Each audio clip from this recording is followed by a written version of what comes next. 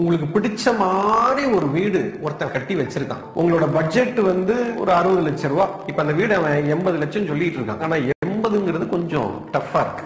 இன்னைக்கு அவன் கடைசி நாள் சொல்லிட்டான். இப்ப அவன்கிட்ட போய் பேசும்போது ஐயோ இது என் கையை விட்டு போயிடக்கூடாது. என் பையன் எவனாவது கூட இது எனக்கு முடிக்கணுமே முடிக்கணுமேன்ட்டு அங்க போய் உட்காரும் போது மனம் ரொம்ப வீக்கா இருக்கும். இப்ப இதே மாதிரி ஒரு சம்பவம் உங்க நண்பனுக்கு இப்ப நீங்க உங்க நண்பனுக்காக பேரம் பேச போறீங்க.